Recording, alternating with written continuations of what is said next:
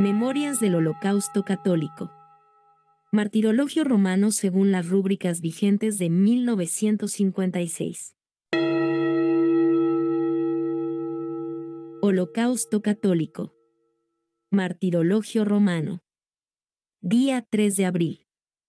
De la luna A. En Roma, el triunfo de San Sisto I, Papa y mártir, el cual, en tiempo del emperador Adriano, gobernó egregiamente a la Iglesia, y por último, en el imperio de Antonino Pío, a trueque de ganar para sí a Cristo, sufrió de buen grado la muerte temporal. En Taormina de Sicilia, San Pancracio obispo, el cual selló con la sangre del martirio el Evangelio de Cristo, que enviado allá por el apóstol San Pedro había predicado. En Tamis de Sitia, el triunfo de los santos mártires Evagrio y Benigno.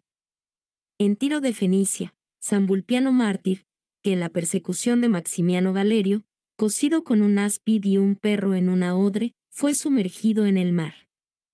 En Salónica, el martirio de las santas vírgenes Ágape y Quionia, en tiempo del emperador Diocleciano, bajo el cual había de padecer más tarde Santa Irene Virgen, hermana de ellas.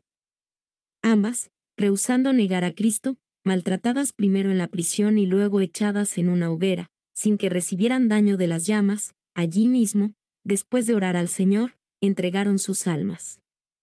En el monasterio de Medicio en Bitinia, el tránsito de San Niceta Sabad, el cual en el imperio de León Armenio padeció mucho por el culto de las sagradas imágenes, y por fin, junto a Constantinopla, confesor descansó en paz.